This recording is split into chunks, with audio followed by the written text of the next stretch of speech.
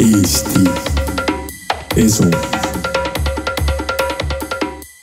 tere, head Eesti Eso kuulajad-vaatajad. täna on mul külas Karl Käsnapuu juba teist korda, tere Karl. tere taas, tore. Karl, sa said vahepeal hakkama sellega, et andsid välja ühe raamatu Surmalähedased kogemused, mis saab elust pärast surma ja see raamat läheb siis ka loosi ühe kuulaja või vaataja vahel olge head, pange Eesti Eso Youtube'i kanalile jälgimine ja jätke siia video alla kommentaar, kas teil on olnud surmalähedane kogemus või teate kedagi, kellel on. ja võite seda ka kirjeldada ja siis keegi võidab selle raamatu. aga alustuseks ma leidsin siit raamatust ühe huvitava loo. ja see lugu algab niimoodi lugesin eilsest Õhtulehest artiklist, artiklit, kus kutsusite jagama oma surmajärgset kogemust. ka mina olen korra teispoolsuses käinud ja paljud asjad tulid teie jutust tuttavad ette. oleme oma lugusid teistega võrrelnud ja kõigis neist on palju, palju ühist, nagu ka teie kirjeldustes. no selle ma lugesin ette, sest see, siin on mainitud Õhtulehte ja Õhtulehte läheb ka meie saade üles. Karl, räägi, mis siin raamatus kirjas on no täpselt sellest kõik see algab, et nende inimeste isiklikud kogemused, nagu temagi rääkis, ja, ja tegelikult siis need äh, minu kommentaarid sinna või noh, millega tegemist on, mitte ma ei saa lõplikku vastust öelda, aga et kuna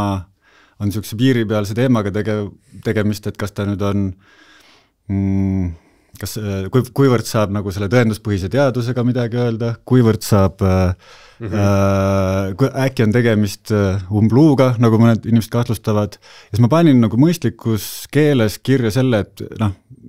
mille, millise nähtusega on tegemist ja mida sealt, milliseid küsimusi võiks otsida selle kohta mm. -hmm. see on jah huvitav, mis ma lugesin ka sinu raamatust, et nagu me esimene kord ka rääkisime, siis noh, hästi üldiselt saab selle, selle minu podcast'i eh, teema võtta kokku sellise küsimusega, et mis juhtub pärast surma, on ju. aga sa ka ütlesid huvitavalt, et, et võib-olla see ongi nagu vale küsimus natuke üldse selle, selle surma kohta, on ju, et siin on see, see pärast on justkui sees, on ju.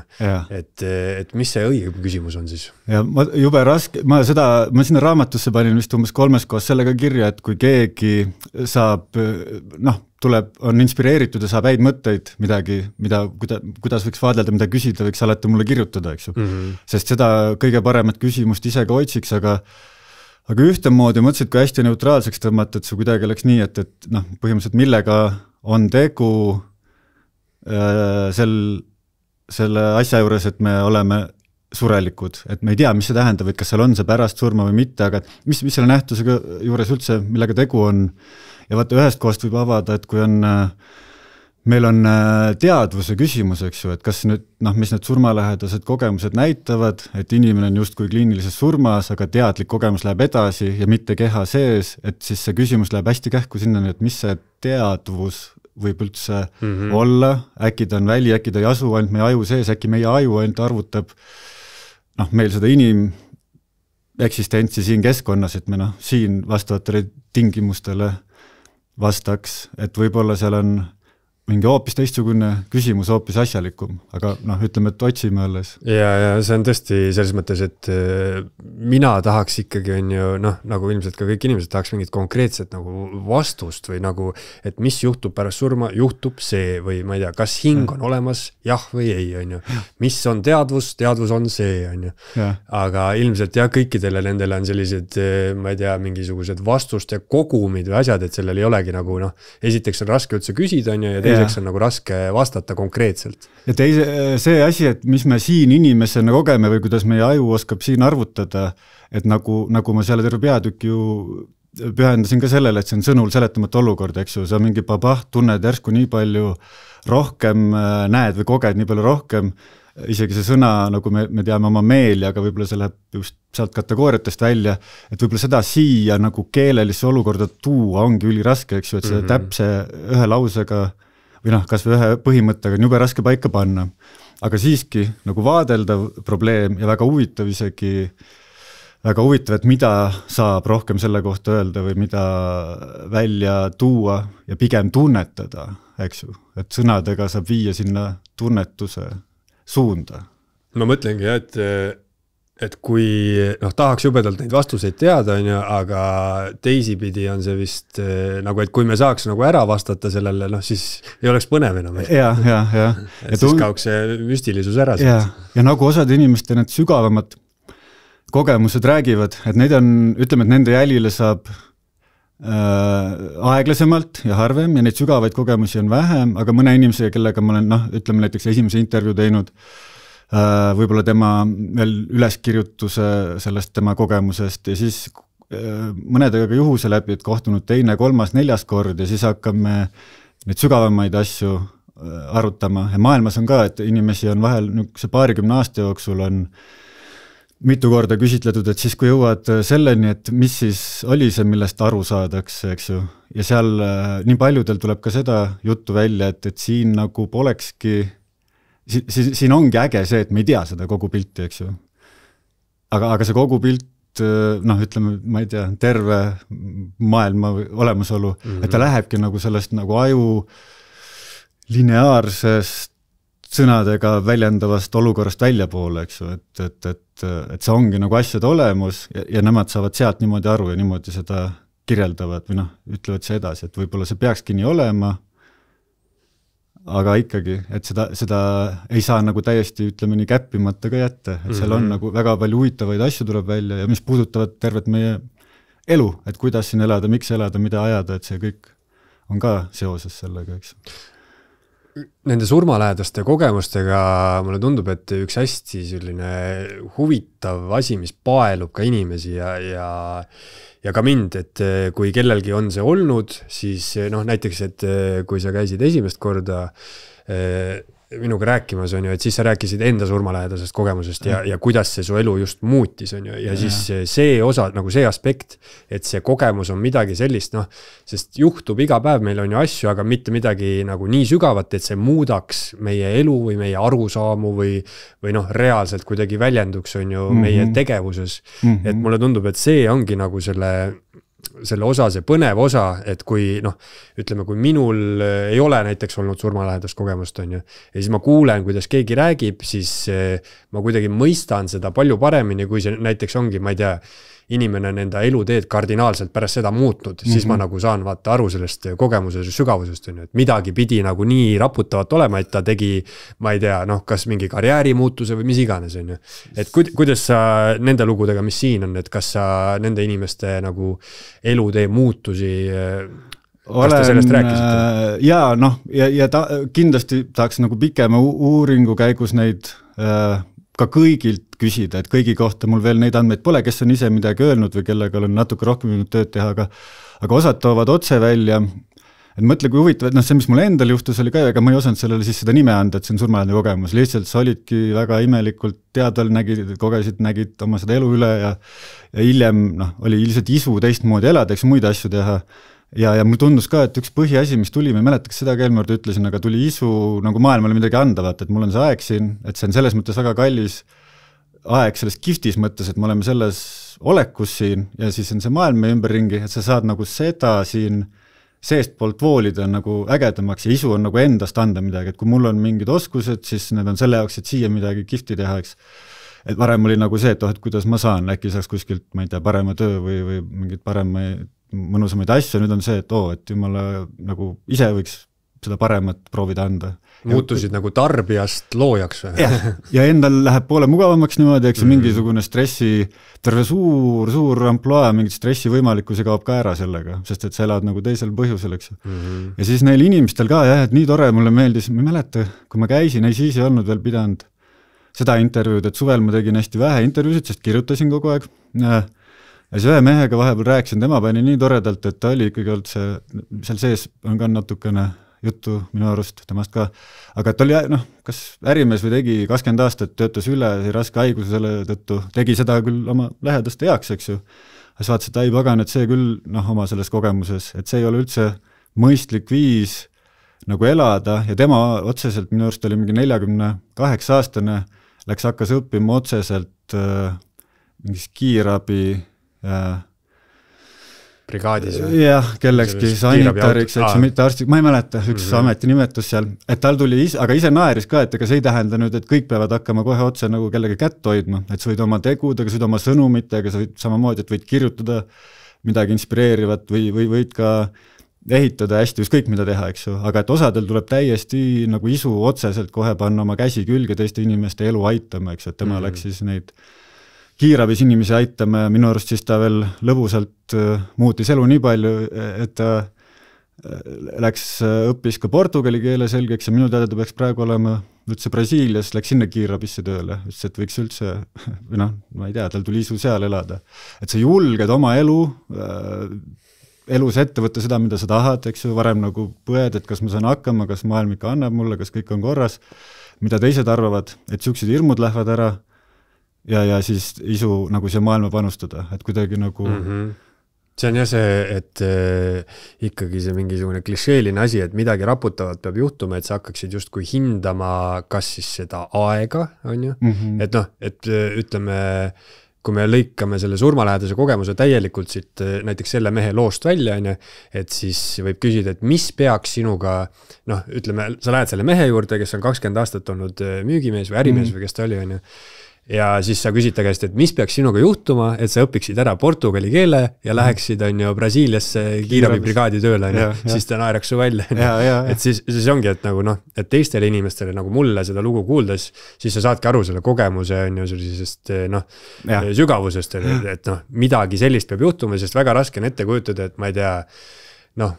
ma ei kujuta ette, et eh, see mees nägi mingit väga ägedat filmi ja siis mõtles, et davai, ma muudan enda elu Jaa. kardinaalselt, et noh, päris nii see ei käi. Need on nagu tavaliselt, vaata vahel tuleb küll, aga need on lühiajalised asjad mm., me tahame korra midagi teha.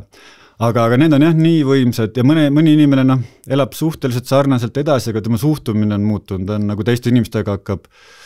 heaks, et see, Mhm. see üks suur arusaamine ka, et kuidagi, et ka igaüks ei pane seda nii hästi samamoodi sõnadesse, aga et me oleme siin kõik koos, et see nagu, et päriselt võib-olla ongi see teadvus, eks ju, et nagu on kõike läbiv tegelikult, kogemused, eraldiolekut, aga et nagu kõik, mis sa teed, teed iseendale, et see on ka vana, eks ju, niisugune klišeeline yeah, motiiv, jaa. aga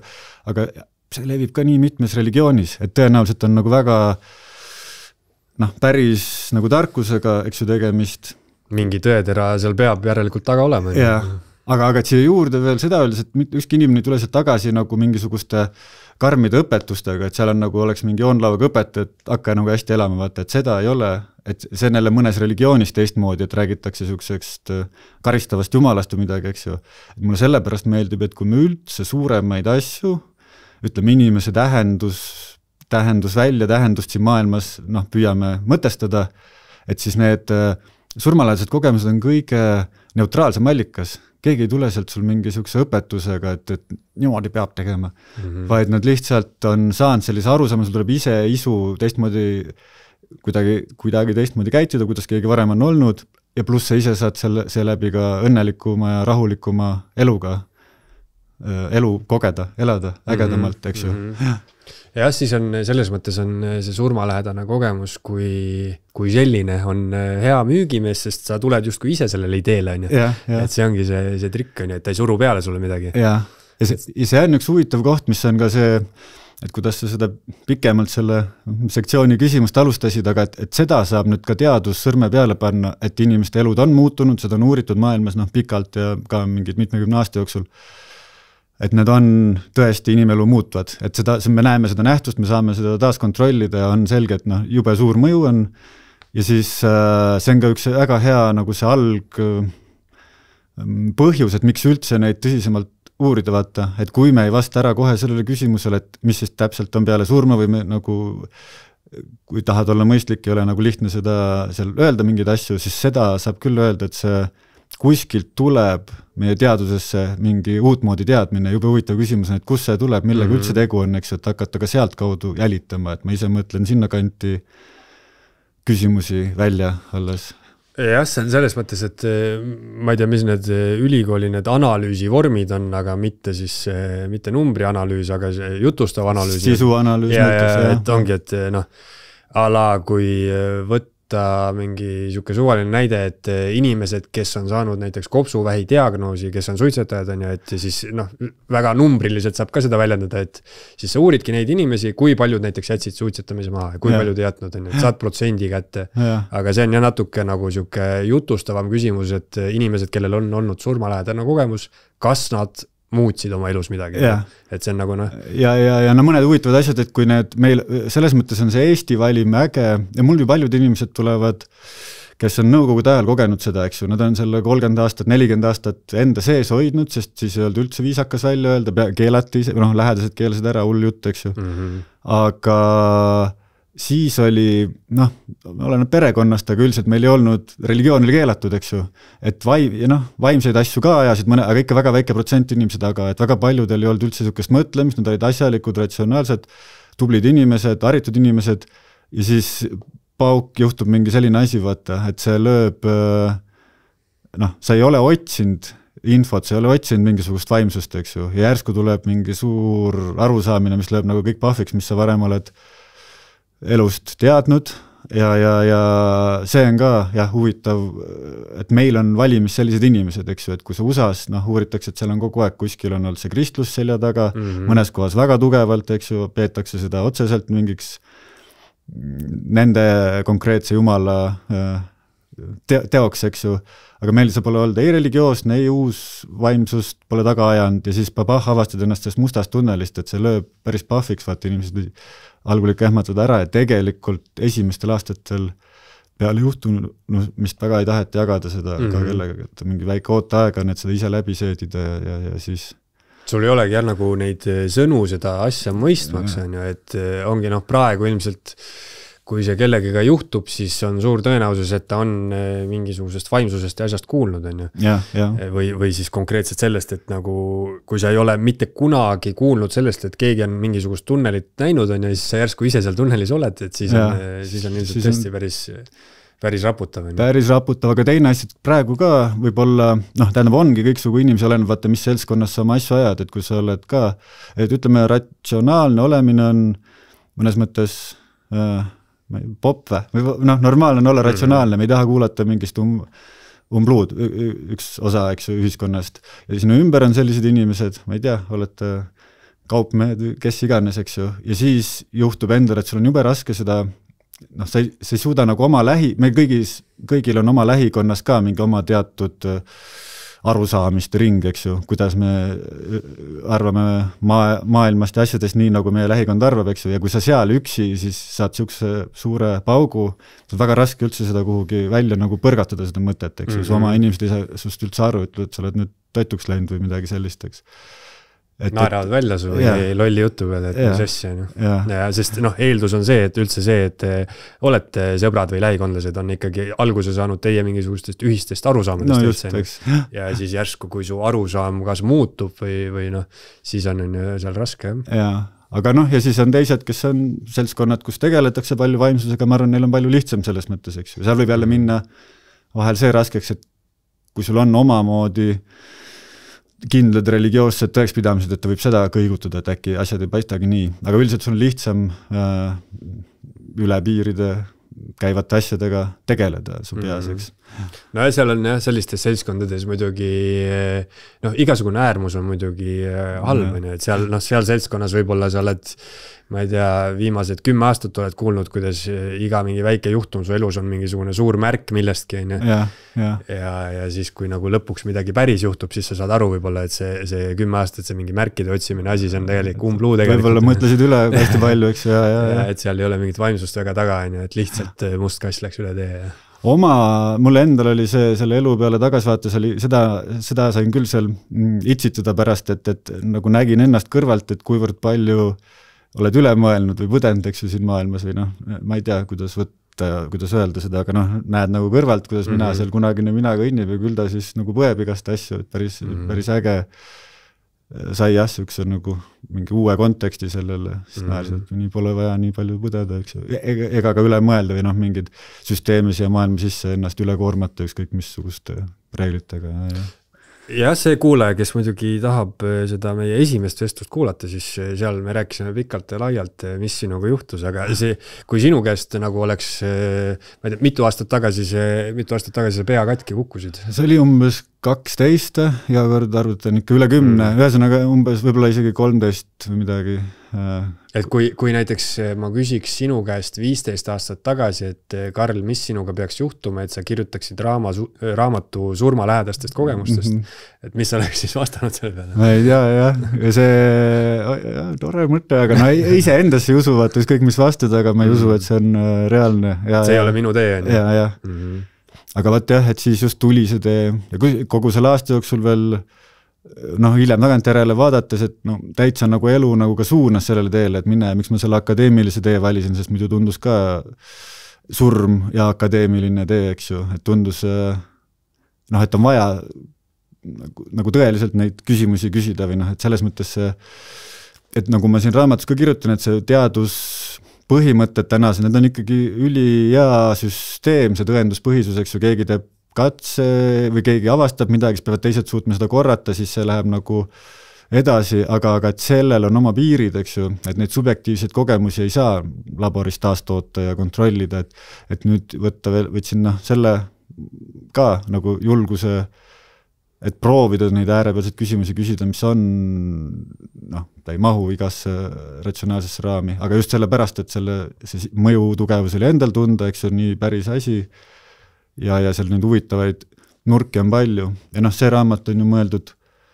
on nagu tutvustav ka, et paljudest nendest kohtadest on ikkagi suht lühidalt siin, sest et mm -hmm. paljud nüansid, et kuidas selle seal teadusmaailmas, kus need piirid on, mida saab, mida ei saa, mida teadvusest arvatakse, kuidas tegelikult ei teata midagi ja, ja, ja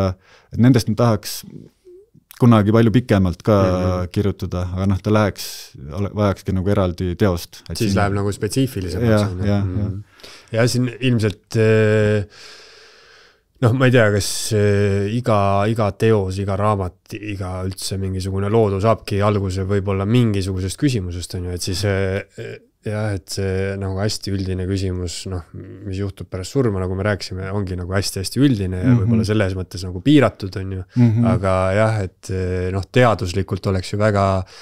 tore, ma ei tea, kuidagi näidata näiteks reaalselt, et kui küsimus oleks, et kuhu läheb inimene pärast mm -hmm. surma, on ju, et siis näidata kuidagi nagu mingisugust ma ei tea, ma ei kujuta ette, noh, ei tea vastust, kvantruumi, kuhu, kuhu siseneb või mingisugune ühisala teadvus või ma ei tea. Kui neil on need spetsiifiliselt niisuguseid teemasid taga aetud maailmas, need osad teadurid ja mu lemmik sellel alal, see Bruce, doktor Bruce Grayson ja mm -hmm. viiskümmend aastat uurinud, no üks esimesi ka nüüd siis nad äh, just seda teemat, et kuhu läheb, siis hästi paljudelt inimeselt saab ikkagi vastuseks, et see ei saa öelda seda mingi kohana, noh, see ei ole koht, eks ju, ta ei ole nagu paik, ongi mingi üleüldine lahti või noh, teistmoodi kui, kui, kui siin maa peal äh, seisund. jaa -hmm. aga, aga ka see ei ütle seda õigesti, eks ra raske, aga samal ajal siis, kui ma nüüd inimesega ise kohtud, kellel on olnud tõeliselt see kogemus, eks ju, siis seda jõudu tunned, kui nad äh, iseennast väljendavad ja räägivad sellest, et kuidas noh, täismehel või täiskasvanud naisel väga nagu tublid ja tugevad inimesed ja tuleb sellest rääkides, kuidas nad selle müstilise valguse kohtuvad, tuleb päriselt see nutt kurku, eks ju mm, keegi on päris mitu inimest on, kui nad on emaili mulle kirjutanud oma loo, siis on kuskilt, jääb pooleli ja umbes, et vabandust, ma ei suuda praegu jätkata, vaata, see on nii noh, võimas, et see toob ise, see ei ole nagu see nutt-nutt, aga noh, ongi see härdus või selle suure meeleliigutus, jah. jah, ja, mhm. ja, ja, ja, ja see on nii võimas, siis kui vahel nagu inimesega ise räägid, siis koged seda, no siis ei ole kahtlust, jällegi, et see ei ole mingi paik või ei saa nagu täpselt sõnades öelda, mis see on, aga et seal, et teadvus paneb edasi et see, see sinu mingi teadvel osa on, on seal edasi, pluss tal on nagu hästi selge olla, on täiesti jah mm, -hmm. valutu või hea olla, eks ju, ja siis nagu keegi ütles seal ka, nagu nirvaanas või noh, ongi, mis sõnu me mhm. teame, eks ju, et siis ei ole kahtlust, kui sa näed seda inimest ja kui sa näed neid palju, siis sul ei jää kahtlust, aga kusjuures see, see lugu, mis ma alguses ette lugesin, mille loo alguse ma ette lugesin see lugu siin jätkub, on ju, ja siin on üks äh, tsitaat välja toodud, et äh, kõige suurem teadmine oli, et meie eksisteerimine ei lõppe surmaga mm. -hmm. et äh, sina oled selliste inimestega hästi palju kokku puutunud, kes nagu räägivad põhimõtteliselt seda, seda story't on ju, et, et ikkagi juhtus midagi edasi või vähemalt tundus neile, et juhtub, on ju. et kui nüüd kas sa nagu selliste inimestega oled ka kokku puutunud, kes ütleb, et, et see on mingisugune umbluu, et kui sa sured, siis ei juhtu mitte midagi, mitte miski ei eksisteeri edasi, ongi, see on nagu siin kõik, mis meil praegu on, on ju. et mis, mis sa neile ütled? eks mul on küll ka selliseid inimesi kirjutanud ja noh, mõni on, see on tore ka, hästi viisaks, et keegi on kirjutanud, et olin haiglas ja registreeriti see kliiniline surm ja mitte midagi ei olnud, mitte midagi ei mäletanud, eks ju mm -hmm ja ma ei tea ja nii võibki olla ja mõned arvavad, mõnel pole endal seda kogemust, aga lihtsalt nad tahavad, see on ka usk, eks ju, et me oleme noh, lugenud, ma ei tea, raamatuid või uskunud niimoodi ja siis on et mida sa ajad, et nagunii tuli kustu ja siis on kõik, eks ju, aga ta ka lihtsalt mõtleb selle ise välja, aga ta ei tea ju mm. -hmm. aga mida ma ütlen, eks ju, need on huvitavad, et mul on Eestis olnud see ühe mehe ju, lugu, kes äh, peale õnnetust, seda olen mõnes kohas öelnud ka, ma ei mäleta, kas sulle rääkisin, aga et peale sõjaväes mingit õnnetust ka ammu minu arust Vene ajal, ja siis oli peale esimesi operatsioone, umbes lapiti kokku, siis ärkas üles ja ülem oli kõrval ja rääkis talle, kuidas ta käis valguses ja need lood ära, eks ju, ja siis äh, viidi kunstlikusse koomasse, sest et ta oli nii vigastatud. Ja siis, kui sealt ärkas, ei mäletanud enam midagi, ta ei teadnud, tal polnud midagi, oli lihtsalt black ja siis, kui mitu kuud hiljem nägi oma ülemat uuesti, siis et kas sa tead, mis sa mulle rääkisid, vaata, et üks võimalus on see, et juhtub, aga ei mäleta. siis doktor Grayson vahepeal võttis mingi haigla ette, kus äh, ma ei mäleta, et kas seal oli mingi südame oppidega ka tegemist, no ühesõnaga, kus inimestel korra see süda vähemalt jäetakse seisma ja kõiki neid uh, uuris ja keegi ei mäleta midagi, mingi, mingite aastate uurimiskatse oli, siis sellel ajal äh, anestesioloogid manustasid ühte ainet ka, mille nime ma ei mäleta, praegu raamatus on kirjas mm., et äh, mis, mis otseselt tegelebki sellega, et su mälu Kustuks. kaoks ära, sest et need operatsioonid, asjad võivad olla muidu nagu psüühiliselt traumaatilised meelega, eks on, on, oli tegeletud sellega äh, et mälu ei oleks sellest ajast, eks ju, jällegi võib-olla oli siis neid kogemusi ja lihtsalt ei mäletata, et see on täitsa noh, võimalik. ja teine, no vot, ja jälle lõpp, niisuguse teaduspõhimõtetel, kus sa pead õiget nagu tärnid õigesse kohta tegema, ei saa seda lõplikku vastust anda, eks ju, noh, ongi äh, mitu võimalust, aga kuna nende inimeste hulk, kellel selliseid kogemusi on, on nii suur, siis ei saa seda kõrvale visata mm. -hmm. eks ju, koosnevad samasugustest elementidest, noh, kogevad samu asju, vahel seletavad seda erinevalt ja vahel ei ole iga osa samamoodi meeles, aga nii pagana sarnased, et siis ei saa öelda, et seda ei ole, eks ju see, siin tuleb jah mängu jubedalt ka see, noh, mingi a la näiteks asi, kui rääkida mingitest ufodest, on ju mm, -hmm. et siis millegi tõttu nagu kaks inimest võivad rääkida, et ma nägin, on ju, taevas mingit sigarikujulist imelikku masinat, mis liikus hästi kiiresti, on ju, ja kui üks neist inimestest on, on ju, tädi Ljudmilla kuskilt, eh, kuskilt korterist, on ju, siis mm millegipärast on seda juttu nagu maru kerge mitte millekski pidada, on ju, aga kui seda räägib, ma ei tea, mingisugune eh, lennundusväest mingi kindral, on ju, või piloot, kes on ise seda mhm. näinud, siis järsku on see lugu nagu hästi-hästi väärtuslik on ju, et samamoodi on nagu mulle tundub nende surmalugudega, et justkui väärtuslikum või noh, nagu, nagu teadus mõttes mm -hmm. on, äh, on selle inimese lugu, kes on äh, muidu olnud nagu täielik igasugune vaimsuse vastane mm -hmm. ja noh, mhm, ta on pidanud mhm, kõike mhm. mingiks täielikuks jamaks, on ju. ja siis tal järsku nagu juhtub ja siis, kui sa näed sellist inimest nagu äh, näiteks näed, kuidas see mõjub talle, kui ta räägib sellest, on ju, et siis on see noh, siis sa saad aru, et see on nagu päris. jah, sest tema on ka jah, ise sisemiselt ehmatunud või on mm -hmm. see mingi, mis see nüüd oli ja pikka aega kestev niisugune ehmatus, selleks mm -hmm. mingi teine on eestikeelne sõna, aga aga, ja, ja siis need teadurid, kes on ise siin, noh, see on kuulus, seda on eesti keelde ka tõlgitud, Aleksander Iben, kes oli neurokirurg ise ja mitukümmend aastat maailma tippteadusasutused ja ja, ja siis tuli mingi ajukelme meningiit, eks ju, ja koges ise selle küsimus, asja läbi ja ta on just ajuga tegelenud terve mm. elu. ja ta ütles ka siis, et seal tema arusaamiste juurde, et üks asi, mis ta ütleb, et, et siis ta sai aru, et kui äh, kobal või, või, või nagu nii piltlikult öeldes kiviaegsel tasemel me seda aju ja teadvust äh, praegu mõtestame ise, et see noh, teda ennast muutis nii palju, ta muutis oma tegevust, tegi tema silmad nagu sellesse suunda lahti, et siin on teaduse puhul millegi muuga või noh, millegi suuremaga tegemist, et kui püüda ainult selle neuronite mingisuguse tegevuse tagajärjeks lugeda, eks ju. et selle ala spetsialist täielik materialist, eks ju, ja niisugusest perest ja sellisest koolkonnast, kus sa lihtsalt võtadki ainult materiaalseid asju ja siis lööb see sind nii pahviks, aga noh, ja neid on veel maailmas, kellel siis mm, -hmm. et veel enam, eks ju, et kui kui mitte, mitte, et lihtsalt mitte uskuja, vaid otseselt teises suunas kõvasti treenitud ja mm -hmm. harjutud mm -hmm. inimene, eks ju, jah. aga kui, kui rääkida sellest, et et kuidas inimesed muutuvad pärast selliseid kogemusi, siis kas eh, sulle sellist lugu ei ole räägitud või sa ei ole kuulnud, et eh, et inimene justkui noh, tundub, et kõikide elu justkui muutub, ma ei tea, tähenduslikumaks, nad muutuvad ise paremaks inimeseks. või siis julgevad teha seda, mida nad kogu aeg on tahtnud, on ju. et kas sellist varianti ei ole, et keegi saab aru, et et okei okay,, et mu aeg on siin piiratud, et ma hakkan nagu täiega hullu panema, et mingisugune varem konservatiivne inimene hakkab äh, mingit rokkstaari elu äh, jahtima või? võib, võib-olla, eks ma arvan, et see, et see, mida kellegi jaoks hullu panemine on, eks et täpselt mm., et kui sa oled väga konserva-, noh, kas konservatiivne või väga, ma ei tea, hästi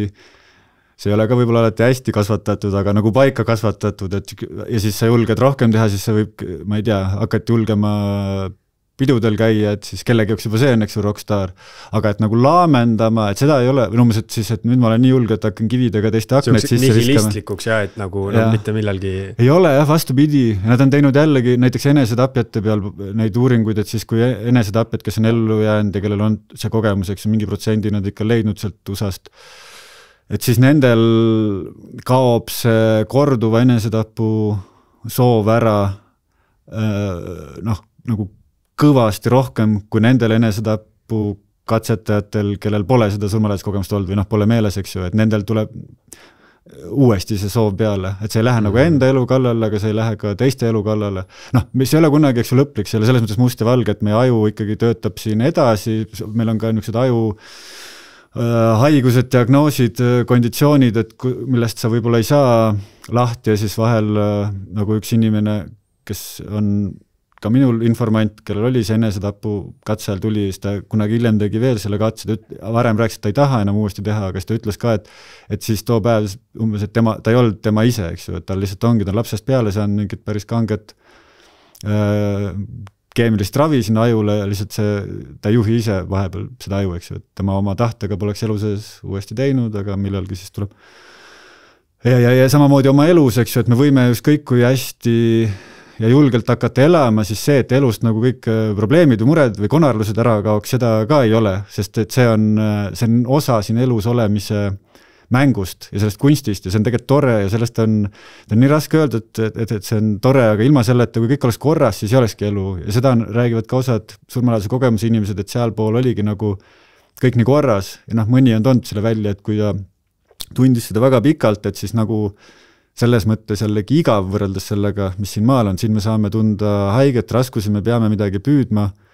aga et selle mängu mängimine nii-öelda ja mitte nagu äh, labastavas mõttes mäng, eks ju, aga noh, ei ole paremat sõna mul praegu, et selle inimmängu mängimine, see kunst nagu see läheb, äh, see on üks peamine asi, läheb nagu vastuvõetavaks ja võib-olla huvitavamaks, eks ju, et kui mul tuleb see probleem nüüd näkku või keegi siin äh, ründab mind, siis sa kuidagi suhtud sellesse nagu teiselt positsioonilt, sa ei ole enam seal all ainult see piinlev väike inimene, keda, kelle jaoks maailm on raske, vaid sa vaatad, nüüd on see olukord ja ma kuidagi selle inimmänguses peaksin sellega võimalikult osavalt diilima, eks ju, ükskõik kui mm -hmm. keeruline see on, et teeb selle mängu rõõmu paremaks, eks ju, ja, ja, ja see ei tähenda jällegi, et kogu aeg oleks rõõmus, eks ikka tuleb neid asju, mis ehmatavad kurvaks, aga sa oskad paremini edasi minna, sa järgmisi käike on nagu kihvtim teha ja ja sa tead, et see on siin ajutine, nagu siin raamatus ka ühe inimese see äh, lause ütles, et ta seal teispoolses sai aru, tal oli niisugune võimalus, kus ta ka seal sellise vaimolendiga või mingi teadusega nagu suhtles, eks ju, see käib nagu ilma sõnadeta, kuidagi telepaatiliselt, et et sealt öeldi, et et sealt vaadates sa oled nagunii seal tagasi ühe hetkega, eks ju, et siin inimelu sul tundub, olgu ta viiskümmend või sada aastat, et see on nagu pikk aeg, aga sealt vaadates see kõik on nagunii kogu aeg üks hetk, eks ju. ja siis ta sai aru, et kui lähedal see on, eks ju, ja vaata, tegelikult see on ka äge point, et meil kogu aeg on see teispoolsus või kui ei võta selle ohtliku hirmutava surmana, mis vahepeal oli lääne kultuuris igal pool, aga et et see surm on meil kogu aeg hästi lähedal, eks ju, ta on ainult hetke kaugusel ja me kunagi ei tea, eks ju, kus see hetk on, ja need, kes on siis kogenud ja sealpool seda sooja ja head ja, ja seda vabat tunnet, siis see on nagu lootustandev ja teeb nagu tunde mugavaks, et ma võin julgeda elada, et just nimelt, et ei kao mitte ainult ära surmahirm, vaid kaob ära ka elamise hirm, eks ju mm. -hmm, mm -hmm jah, see, see tuletab mulle meelde lauset, mis ma nägin vist äh, Brad Pitti filmist Trooja, kus ta seal rääkis selle mm, mingi tšikk ronis talle telki igatahes ja siis ta, või ta röövis ta või ma ei mäleta täpselt, aga siis ta rääkis jah, et kuidas jumalad kadestavad inimesi, sest meie elu on, on ju, lõpeb ja, ja me oleme surelikud, on ju, et kui kõik on nagu üks, siis noh, noh, kui midagi on liiga palju, siis sellel kaob väärtus, on ju. jah, maitse läheb ära. ja, ja ma mõtlesingi sinu käest küsida, et kas sul endal on, kui sa räägid sellest mängust ja sellest, kas sul endal on näiteks pärast seda kogemust kas see nagu sihuke mm, arusaam elust kui mängust ja sihuke ütleme, ellujaatav ja positiivne suhtumine, kas see nagu käib pärast seda kogemust kaasas või sa vahepeal näiteks, ma ei tea, mingi nädalateks, kuudeks ikkagi mattud mingisuguse argirutiini asja, kus sa oled ärrituv ja, ja noh, sa nagu unustad ära selle kõik. ja, ja need käivad igal juhul juurde, need on meie omadused, ärrituv, ma ärrituv olen pigem vähe, haama sisse võib-olla, eks ju ikka üliväsinud või mingid asjad tüütud, ülirasked ikka, aga ma arvan, mingi taustasüsteemis on jah, see positiivne asi, noh, vahel äh, on nagu lootus äh, inimkonnale väga, et kui palju vahel mhm. mingid kas või heade tüüpide või inimeste seltskond hakkab arutama midagi, nähakse maailmas nii palju nagu õudsaid probleeme, siis ma kogu aeg näen neid nagu noh, see on jälle mingisugune ülesanne, ma kogu aeg näen mm. lootust, vaata, eks ju, meil on see kliimajama, et ma näen, et vaata, kui palju mingeid huvitavaid lahendusi juba tehakse, eks ju, otsitakse nii palju lahendusi, et ma nagu usun inimkonda, mina võin ka siit ära kaduda, aga küll hakkama saadakse. no okei okay,, võib ka kõik läbi kukkuda, aga põhimõtteliselt kindlasti saadakse hakkama, sest nii palju on seda head jõudu, mis tahab midagi teha ja enda elus on seesama ja siis vahel on vaata niimoodi, et püüad oma asja ajad, et minu see teema on ju ka imelik, siin ei ole mingit, et ma ei tea, käid seal koolis ära ja siis saad töökoha endale, oled noh, lähen tööle surmauurijate office'is.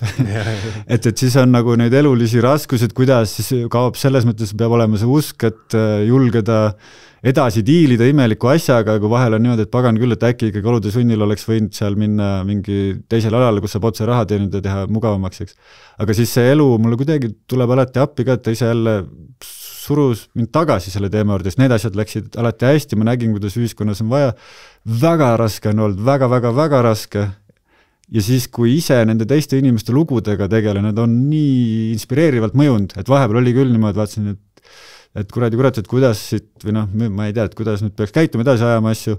ja siis samal ajal käis aeglaselt töö nende lugudega edasi, siis loed ühte, teist, kolmandat ja siis pärast tuleb see meelde, mida ise oled ka kogenud ja tuleb nagu see elujõud tagasi, et need on hästi inspireerivad, et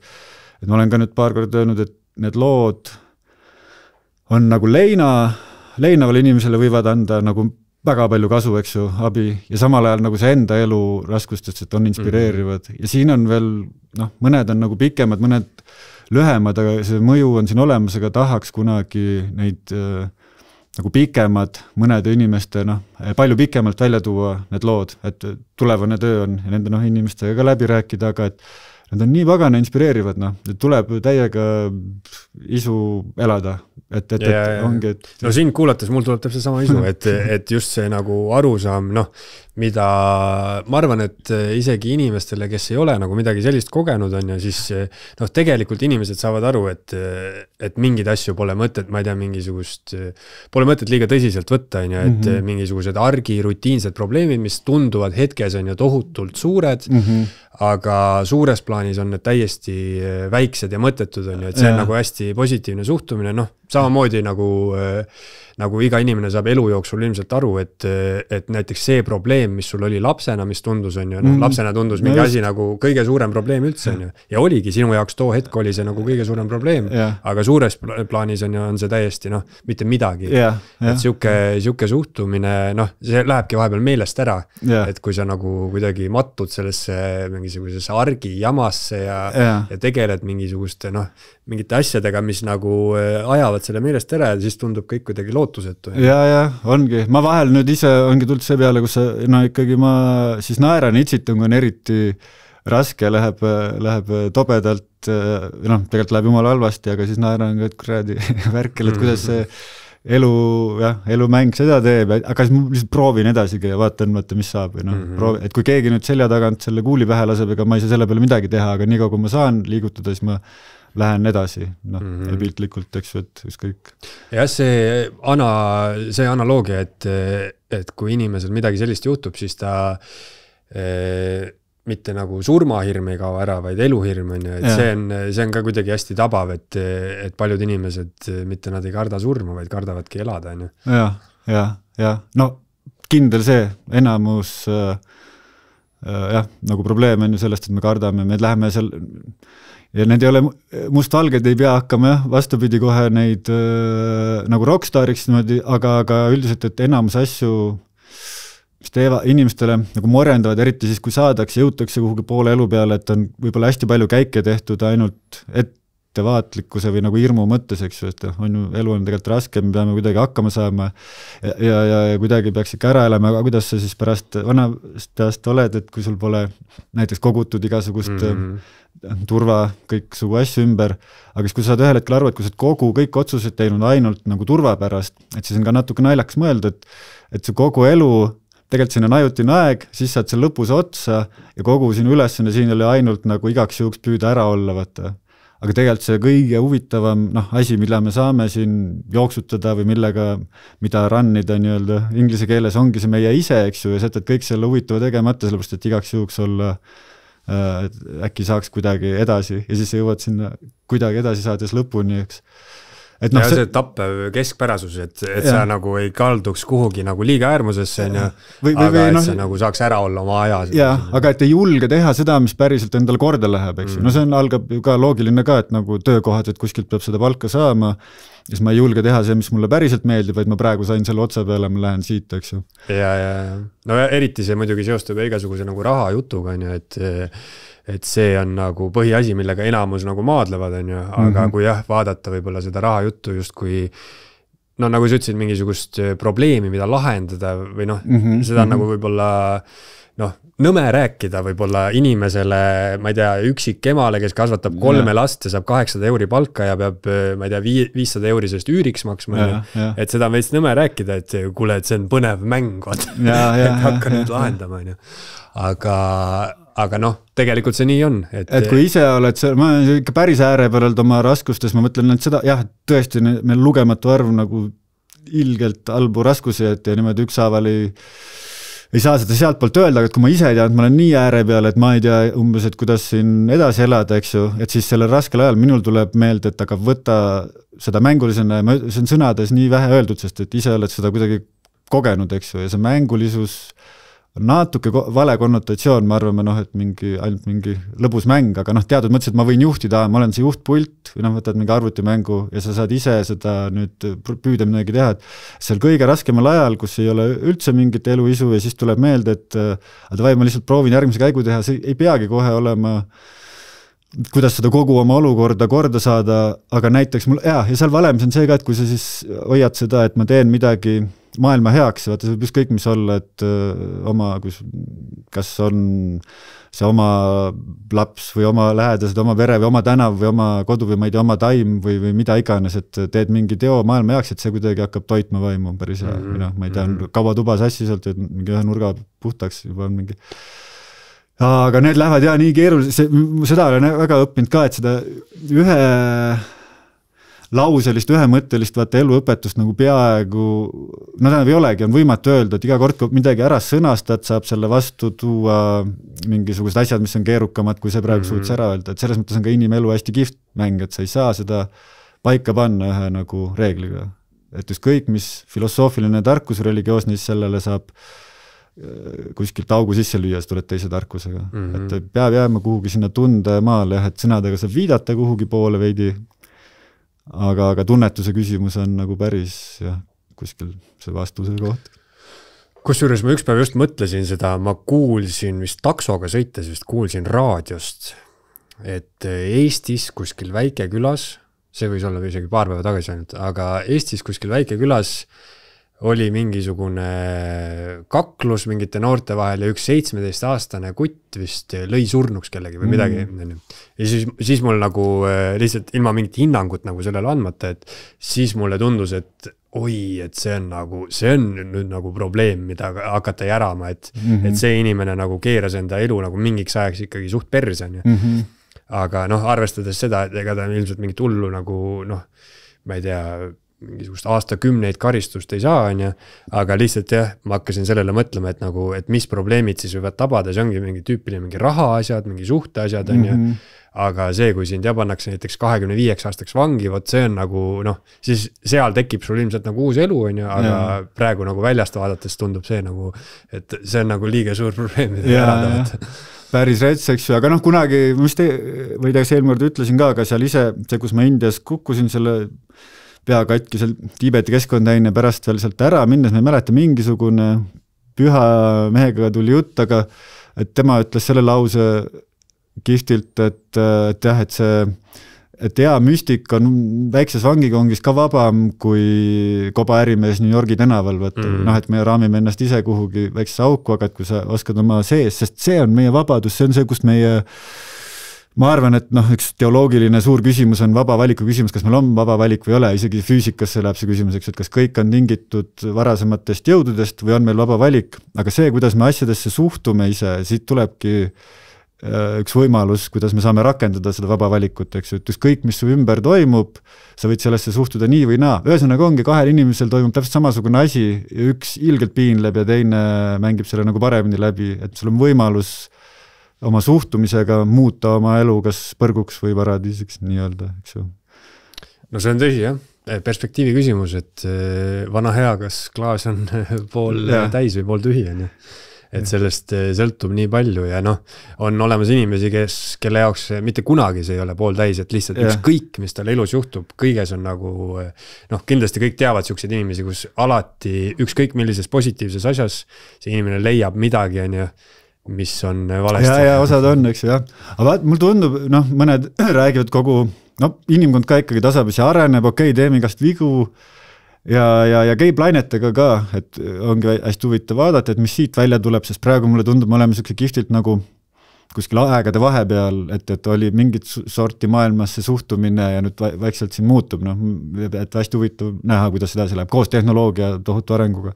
Aga mulle meeldib nende surmalähedaste kogemuste pealt on ka üks asi, mis on ja kogu surmateema pealt silma hakanud, et kui seitsekümmend viis aastal Moody selle kuulsa raamatu kirjutas, et elu pärast elu, mis USA-s äh, laineid lõi, lühike raamat, aga noh, tõi esimest korda selle termini kasutusele, surmalähedased kogemused. Äh, sellest said innustust nii palju, noh, ma ei tea, popmuusikat, filme, raamatuid, et sest oli vahepeal seal, kõik proovisid kuidagi seda, selle najal midagi teha, sest lõi laineid. ja siis, kui vaadata kaheksakümnendate ja üheksakümnendate filme näiteks kõige rohkem, paljud teavad seda Flatliners ma ei tea, mis see eesti keeles on, aga et kus mingid arstid siis said teada sellest ja hakkasid üksteist nagu salaja õhtul kuskil kabinetis laskma nagu surma, kliinilisse surma, siis äratasid ellu. ja selle filmi nagu põhise sisu oli et seal hakkas neile tulema vastu mingeid ilgelt hirmsaid asju, mingeid elutraumasid, mis neil varem olid. Äkki mingi, sul on selja taga nii, nii-öelda luukeresid, eks ju, mis sa oled halvasti teinud, ja kogu see film oli nagu see õudukas, et nad võitlesid oma mingite pahandustega, kuigi see Moody raamat otseselt selle päris nagu kogutud lugude pealt rääkis ka, et nagu kõik valdav osa räägib positiivsest ja ilusast asjast peale surma, aga kui popkultuur midagi tegi nendega, nad panid ikkagi sinna seda õõva juurde, sest muidu film ei müünud. Või ma ei tea, režissöör ei osanud isegi mõelda niimoodi, et võiks või, või kirjutaja, et et võiks teha lihtsalt ilusast asjast filmi, eks me peame tegema mingi õudsete asja filmi. Ja neid on palju selliseid äh, muid teemasid, et ainult visati seda surmaga seoses õudust, morbiidsust, mingi ohtu, see võib-olla annab ka noh, vaatajale närvikõdi, eks ju, et me kuidagi napilt pääseme. ja nüüd, kui alles praegusel viimasel mingi aastakümnel on hakatud samast surmalähedastest kogemustest inspireeritud filme tegema, mis on üli inspireerivad ja positiivsed, et, et, et ma, et terve nagu maailma ühiskond enam ei vaja ainult seda morbiidset ja koledat äh, jampsi nagu mängida meile, et üks film on vist kakskümmend või kakskümmend üks aasta film on The Soul äh,, nagu multifilmilik film täiskasvanute või noh, joonistatud mm -hmm. film. Mhm. The Soul, kus seal mingi bluusimängija siis äh, saab surma seal New Yorgi tänaval ja siis hakkab see teispoolse elu pihta ja, et enam ei pea mängima ainult seal mingi, et mingi kollid kohe tulevad, eks ju, surmaga seoses. ja, ja nüüd on veel rohkem jällegi, et niisuguseid teoseid, mis seda äh, ütleme, ilukirjanduslikke teoseid või popkultuuri teoseid, mis on surmalähedastest kogemustest inspireeritud, räägivad äh, positiivset juttu ja on ikka huvitavad, noh, sealt tulevad uued küsimused mm. -hmm. et mulle tundub, et selles mõttes on see lääne kultuur selle neljakümne aasta jooksul tohutult muutunud, mingi nagu teistsuguse parema pilguvõimekus on tulnud ikka jah, see kõige keeramine nagu halvaks on ju, see on, see on ka mingisugune tegelikult hästi sügav küsimus, et miks näiteks on ju, kui vaadata uudiseid on ju, et miks halb uudis müüb, on ju, palju paremini, sest konflikt müüb, sest see on nagu noh, mingi hästi sügavale minna, siis see on põhimõtteliselt eh, inimese kuidagi evolutsiooniga seotud, et sa pead ohule rohkem tähelepanu pöörama, kui on mingi ohtlik olukord, kui sellele, et päike paistab ja, ja ilm on ilus, on ju. et see on nagu hästi sügavalt seotud, aga võib-olla tõesti võib-olla see on kuidagi mingi sügavat pidi seotud sellega, et eh, nüüd meil nagu sellist ehm,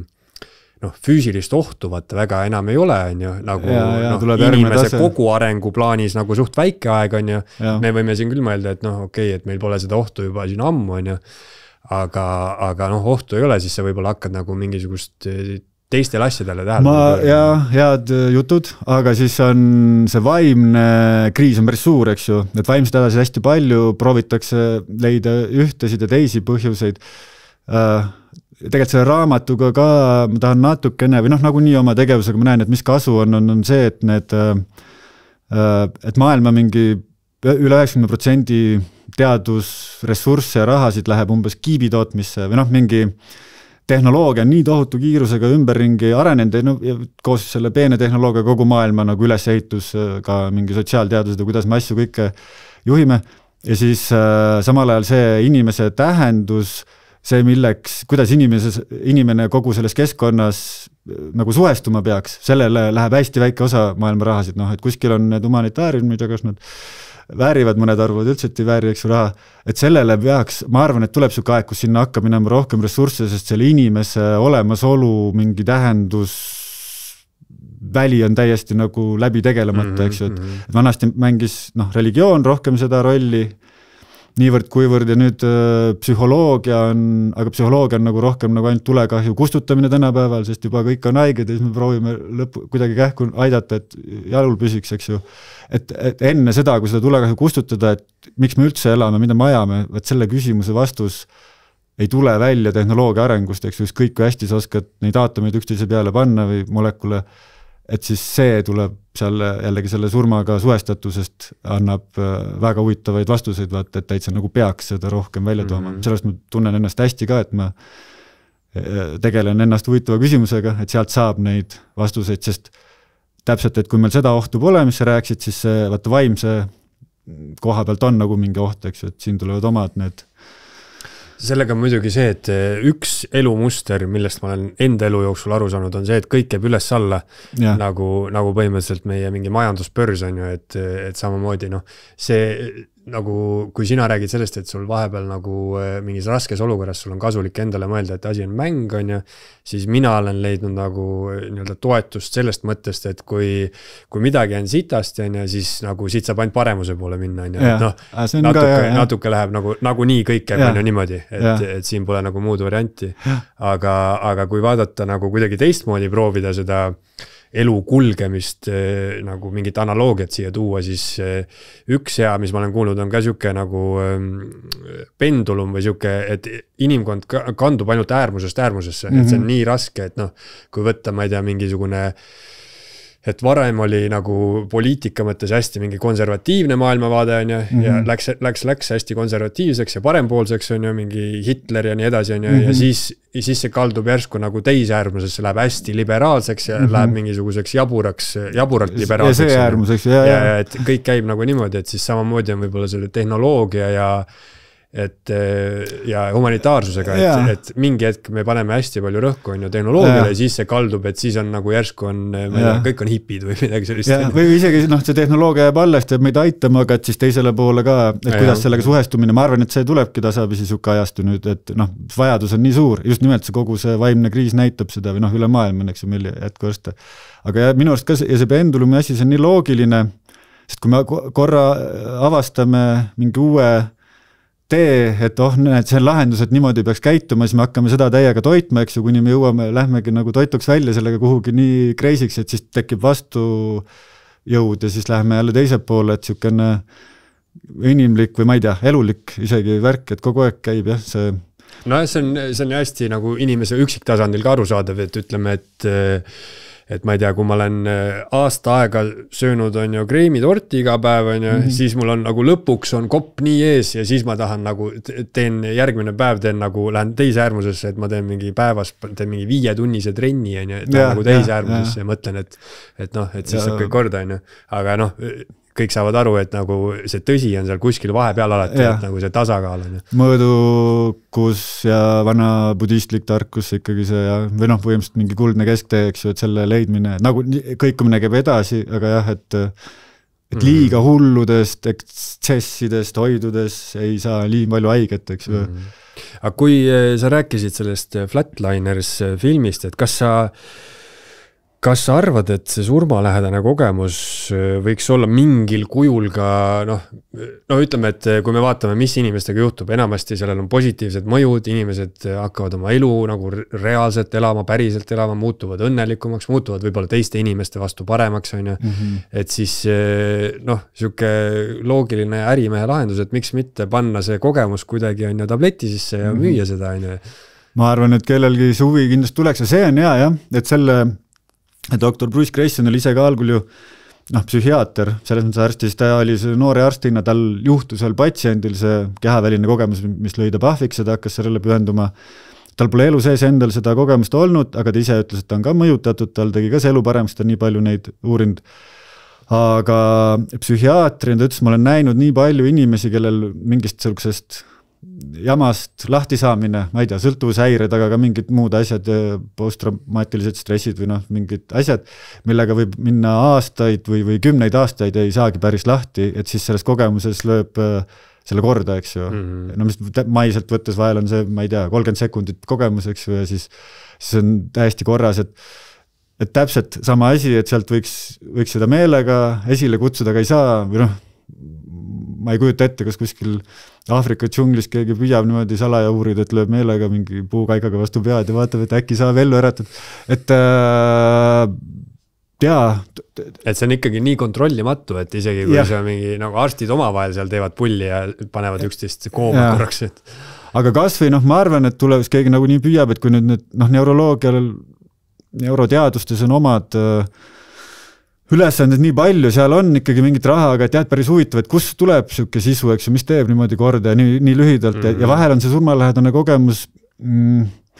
füüsilise vigastusega seotud, vahel ei ole üldse, eks ju, vahel on ta ja siis noh, näiteks uppumine, okei okay,, et meil jah, siin füüsiliselt teame, et kas on siis hapnikupuudus, mingit keemi-, keemiat võime järgida, aga iga kord selle keemilise sama nagu valemi järgi ei tule seda, eks ju, et jah, jah, ei saa seda kätte, aga muidugi oleks huvitav jah, teada mm. -hmm. ja selles eh, kõikides ju kogemustes tundubki, et eh, noh, üks see, üks kandev faktor on siis see nagu see füüsilise keha nii-öelda tervislik oht või, või nagu Jaa. see, selle kadumine, on ju. Aga no osa jällegi tuleb ka siis, kui ei ole üldse, et inimesel võib olla kas või arvamus, noh, ma ei tea, et näed, et see okei okay,, osadel on jah niimoodi olnud, et näed, arvad, et tuleb autoavarii, sest see mm -hmm. tuleb mingi otse-otse sõit, aga siis kogemata läheb hoopis teistmoodi, tegelikult füüsiliselt ei juhtu midagi, aga see mingi kogemus tuleb. Ja teine ma mõtlengi, et kas, huvitav, kas seda saab nagu nimetada, ütleme, et noh, kui sa, ma ei tea, oled oma mõtetes ja astud tänavale ja auto sõidab sinust ülinapilt mööda, sa saad aru, et oleks ühe sammu veel teinud, sa oleks surma Jaa. saanud, on ju, et siis noh, kas sa saad suure ehmatuse või sa saad surmalähedase kogemuse, on ju. ja, jah, aga need, nüüd on niimoodi, et selle surmalähedase kogemuse see kõige esimene mm, element, mida kõige rohkem ka on, on põhimõtteliselt see kehaväline kogemus ja neid juhtub inimestel täiesti mitte äh,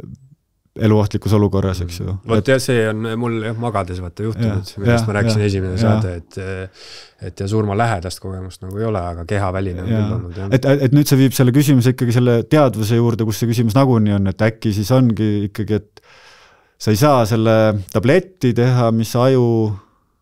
ma ei tea, võib-olla saab ka, et Mhm. li- liiga vähe öeldud, pole vaja seda aju selles mõttes mõjutada, aga et võib-olla küsimus teadvusest, et kas teadvus võib olla ta ei pea olema ruumiliselt nii mõeldud, aga nagu tinglikult kas või võttes, et ta on nagu ajust väljaspool eksisteerida, et mitte ainult see, mis äh, meie aju siin meie teadvust nagu suures osas ikkagi Mhm. juhib, eks ju, praegu ta meil töötab mõlemal, et, et võib-olla see teadvus võib ka ilma selle aju juhtimiseta olla ja siis ta kogeb seda suurt arusaamist, on selle suure teadvuse sees, et võib-olla see on ka üks hästi sihuke atraktiivne teooria, et, et see aju on ikkagi nagu antenn, mis võtab mingisugust sagedust vastu, on ju. et nagu kuskilt ikkagi see nii-öelda elu tuleb nagu läbi meie, et see noh, et meie sees seda ei olegi, et jah, aga siin see ka töötab, eks ju, et tema on ka osa, aga see teadvus on ka osa jah, et see, Mhm. et see antenn ei ole mitte puhas antenn nagu oma selle arvutusmasinaga, aga see ongi siin nagu inimkogemuse jaoks ehitatud masin, ehitatud whatever kuidas öelda, aga siis, aga et sellest on noh, eemal ka võimalik sellel teadvusel Mhm. olla, eks ju, noh. rasked vastata, nagunii inimkond tegeleb edasi pikka aega veel noh, Mhm. küsimusega, aga, aga et seal mingeid asju nende, just nende kogemuste järgi saab jälitada, on need hästi huvitavad, et algul, kui need esimesed aastakümned on kogu maailm seda noh, nagu proovinud tõestada, et need on päriselt või noh, hästi palju uuringuid tehtud, et tõesti ka, et siin maailmakandis, seal maailmakandis, eri religioonidest, et ikka on sarnased, eks ju, kogemused, et nagu ainult ära tõestada, et see kogemus leiab aset. Ja nüüd need järgmised küsimused, et, et mis see, see sisu pool on seal, et need, selle, ma arvan, ikka küllaltki vähe veel tegeletud. Ja mulle endale ma püüan sest mind ennast huvitab ka rohkem minna sisuga sinnapoole just see, et mis sisu sealt tuleb ja kust need arusaamad tulevad. Või tähendab mm algul, et millised need arusaamad on, kuidas sellest äh, maailmast ja inimelust siis aru saadakse ja, ja, ja et proovida neid nagu kaardistada, sest et see on hästi huvitav ja seal on niisugune sisuanalüüsi pool mm -hmm. tähtis. aga noh, see lihtsalt on nii huvitav, jah. kui, kui sa kuulad, loed neid surmalähedasi kogemusi, kas, kas sinu jaoks kõik need paigutuvad mingisugusesse kasti või on need ikkagi niivõrd individuaalsed? et sa näiteks oled kuulnud mingit lugu, mida noh, mitte ühtegi elementi, mitte ühtegi äratuntavat asja ei ole, et inimesel on niivõrd eriskummaline lugu või see paigutub ikkagi alati, mingisugused elemendid on nagu sarnased alati? ütleme niimoodi, et mina kuulen ikka teistsuguseid lugusid ka, mida ma ei pane enda jaoks noh, nende, et surmalähedane kogemus, see sõna lihtsalt tähendab, eks ju, mis iganes asi surmalähedal, aga aga need koge-, tegelikult tal on see teaduslik taust sellel terminil, eks ju, mida, mis see midagi tähendab, et selle jaotuse ma teen enda jaoks ikka kohe ära, ma kuulan veel teisi põnevaid lugusid, mis inimestel on juhtunud aga selles mõttes nende jaoks, mis sinna teaduslikult sinna alla lähevad, on mul põhimõtteliselt küll oma see kast, eks ju mm, -hmm. ja siis on nende nagu võib-olla noh, maailmas on ka, mul on ikkagi kellelegi hea toetuda ja ongi selle Graysoni skaalale kõige rohkem toetun ja temal on seal neli erinevat tüüpi, et kas see on mingi transcendentaalne või afektiivne, et seal siis vastavalt, milliseid neid elemente inimene mäletab ja oskab kirjeldada, selle järgi jaotatakse, aga see tegelikult on tähtis nagu selle, ütleme selle teadlase enda jaoks, et mm -hmm. oleks mingid kategooriad, kus sul on lihtsam neid hõlmata, et seda ja, inimest ise ei ole isegi vaja noh, kuhugi sinna kasti panna, eks. üks, üheks kategooriaks võid panna lihtsalt näiteks mingi seletamatu kogemus ja, jah, aga, aga see on küll kihvt jah, et mõnel on täiesti sarnane, samu elemente täis kogemusega teistsuguste mm, sõnadega või ütleme, et teistsuguse värvidega kirjeldab mm -hmm. seda mm. -hmm Ja. ilmselt siis see juba äh, ikkagi natukene või noh, kui inimene püüab seda on ju nagu edasi anda sõnades või paneb kirja, et siis see juba mõjutab, see on mõjutatud Väga... inimese personaalsest nagu mingi mõjutustest. kus ta ise, mida tema jällegi jah, tema seltskond, tema haridus ja päris palju on omaaegseid on inimesed, noh, on ka õpetajad ja tegelikult väga haritud ja siis otsivad nagu rohkem sõnu, eks ju. ja nüüd tänapäeval jah, nüüd nad kuulevad teiste sõnu ka, aga minu arust siin, see tuli ka toimetaja, Heidit ka ütles, et te, paneme ikka kirja, et tema algul hakkas ütlema mulle, noh, kuna ta ei olnud nii tuttav selle teemaga, hakkasime koostööd tegema, et mis mõttes sa ütled, et siin on mingisugune, et inimene kohtub seal mingi Äh, valgusest olendiga või kõike läbiva valgusega või et kuule, me peame raamatu jaoks selgeks tegema, et noh, kasutame ühte terminit, come on, see ei olegi kunagi üks termin, et kui mm. me tahame inimesi ausalt edasi anda, et meil on nagu kümneid erinevaid sedasama asja, aga nagu erineva sõnaga kuidagi öeldud, eks ju. siis ta kuskile minu arust ütles, et paneme siis ühte lõiku, et nimetame ära vähemalt, ma ei tea, kas me panime seal viis kuni kümme seda sõna või, või, või noh, kuidas sedasama asja on umbes nimetatud, eks ju mm. -hmm. kui jah, küsidagi sinu käest selle nagu raamatu valmimisprotsessi kohta, et siis nagu ma aru saan, terve suvi kirjutasid seda ja. või, või kuidas no ütleme aasta algusest jah. ja too iga päev ei mingit ühtegi pidu ja siis äh, päris raske, et. et sa oled siis aasta aega kaine olnud ja, jah, tööveini pidi jooma et siis, kui see kui see kirjatöö läks ka raskeks, eks ju, aga. kirjamasin läks eh, veits rooste. ja, ja siis peab, aga, aga see, et üldse noh, igasugusest sotsiaalsusest eemal oli päris suur töö mm. -hmm. aga ta... kust tuli jah see otsus, et näiteks teha siis koostööd eh, Heidit Kaioga? me saime eelmine aasta suvel metsaülikool, selline, ma ei tea, targad inimesed käivad koos, erinevate alade professorid ja teised targad ja seal kokku mingid jutud rääkisime ja hiljem siis äh, Tiina Ristimets, kirjastaja, küsis talt, et kas ta võiks minu toimetajaks hakata, me tegelikult Heiditiga olime enne juba saanud nagu päris hea jutu peale midagi läbi rääkinud. Ja siis äh, mulle need otsad väga meeldisid, kui kokku läksid. Ja siis algul oli niisugune äh, et katsetasime, kas me saame omavahel head tööd teha ja tuli välja ülihea, noh, see on täielik ka ime, see näitab, et maailm soosib, vaata, et kui ta annab nii hea sellise kaasmänguri. Ja ta hakkas minu neid mõtteid proovima kaasa mõelda, sest et siin on nii palju seda sõnul seletamatut, kuidas sa kirjeldad seda. Ja tema jälle tunneb, kuna ta on ajakirjanik terve elu olnud ja, ja tema tunneb seda, kuidas sada tuhat inimest asju lugeda mõistavad. Ja minul on mingid äh, väga suured ja sügavad mõtted, et siis selles koostöös me saime nagu päris hea kompoti, eks ju, ma kindlasti tahaks veel äh, võiks veel paremaks teha, aga ikkagi väga-väga hea, mõne koha üle mul nii hea meel, sest et, äh, et sa ei saa lineaarselt sõnades väljendada neid asju, et mul endal ka, et kogu minu, kui palju ma üldse nagu noh, sellealast kirjandust ja, ja kõike läbi lugenud, siis sul on peas mingi arusaam, aga ta on nagu igas suunas korraga, et proovi seda nagu lineaarselt nüüd välja mängida ja kirjutada. pluss nii, et oleks igale inimesele arusaadav, et mitte ainult sinu ühele kolleegile. ja, ja siis temaga super koostöö ja siis tuli päris hea et nüüd, kui aasta algusest hakkasin noh, tasapisi kirjutama, siis kogu see kevad ja suvi läks täie jõuga sellele ja siin sügisel veel viimaseid neid toimetustöid, aga inimeste lugusid vaata tegelikult enne kaks aastat kogunud ikkagi mm, -hmm. et sa mhm. niisama selle ühe aastaga seda valmis ei teeks no eeltööl on ikkagi tohutu, on ju, et noh, see on ja. nagu mingisugune noh, romaanikirjaniku asi, et ta võib eh, selle kolme nädalaga kirja panna, aga võib-olla ta on kümme aastat mõelnud selle just, just, just jah, et seal see eel on hästi palju mängus mm. -hmm. aga, aga tore, et sai ära pakendada jah, et nüüd on siis, ongi järgmisi asju eh, teha, kirjutada ka isu ja soov ja, ja nemad mm. -hmm no kuidas, mis inimesed nagu noh, suht vähe on see veel väljas olnud, aga mis sul tagasiside on olnud, et igal pool edetabelites on ta tipus, et kas inimesed on sulle kirjutanud, kas nad on avastanud, et oh, mul on ka ju need kogemused? jaa, palju on ja ma väga tänan, kes on kirjutanud ja kohe pean jälle seda ütlema, et mul võtab aega vastamine, on päris, päris palju igasugu kirjutatud ja siis tagasiside saanud ka raamatu kohta, mõned mitu inimest on öelnud, et nüüd nad peavad, hakkavad teist korda lugema, et läbi seedida, eks ju, on meeldinud ja mõni nii, et ühesõnaga, kui sa seda kaant ainult näed, ma ise mõtlesin ka hiljem seda, et loed surmalähedased kogemused mul see pilt seal, et siis äh, võib oodata, kes teab mida, ja siis mulle meeldib, et kui ma käisin vaata Anu Välba saates, et siis äh, tema oli saanud PDF-i, siis ei olnud raamatul väljas kirjas mm, -hmm. oli saatnud ja siis ta nii toredalt ja ütles, et oh, või noh, seal eetriväliselt, et oh, ma ootasin või ma arvasin, et see on hoopis midagi muud, aga see on hoopis nii hea või kuidas iganes ta ütles, sest et just ma selle nagu väga tahtsin, et oleks mõistlikus toonis, et me noh, vaatame päris nähtust ja just nimelt ma ei taha olla selle pendulumiga seal ühes või teises ääres nagu hull, et kas ma ainult panen nurgelise teadusega kõik lukku või ainult hästi esoteeriliselt lähen lendama, eks ju, et tahaks näidatagi need, kus need küsimuskohad on ja midagi mm -hmm. siin mhm. sai ikka päris hästi välja toodud ka mm. -hmm no igatahes, äh, Karl, tõmbame otsad kokku, ma arvan, et, äh, et palju õnne sulle raamatu puhul, jääme tu siis ootama järgmisi raamatuid. jaa, suur tänu sulle, jah, tuleb, noh nüüd peab tulema järgmise. nüüd sa pead seedima natukene, aga, aga hea kuulda, et läheb hästi ja siis loodetavasti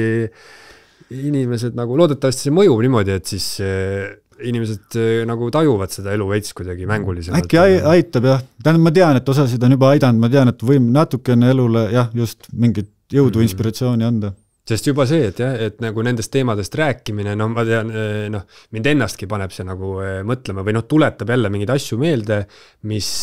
mul on tunne, et tegelikult kõik inimesed nagu teavad neid kuidagi taga, tagakuklas on ju, aga ja. igapäevaselt on võib-olla raske neile mõelda, jah. jaa, lahe point, jaa, jaa. kuule, aga suur tänu! aitäh sulle